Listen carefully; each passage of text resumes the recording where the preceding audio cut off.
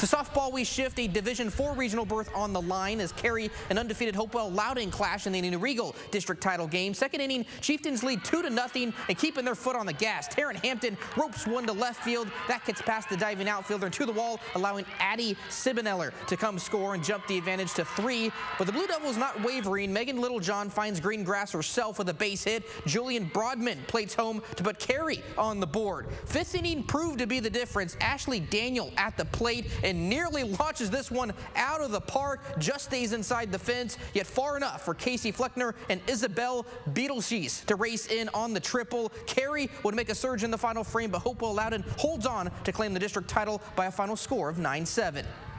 We always, uh, beginning of the season, uh, come out with team goals, and this is one that the girls had, is try to get back and further in what we did last year. Had a nice blueprint with last year's team, so uh, some experience under our belts here and uh, um, on, a, on a, a, way to, to get where we want to go. Obviously, we had a pretty solid season last year, and I know we were we lost a couple and we're returning a lot, and um, I think our coaches just do a great job of preparing us for the next game and that next game mentality.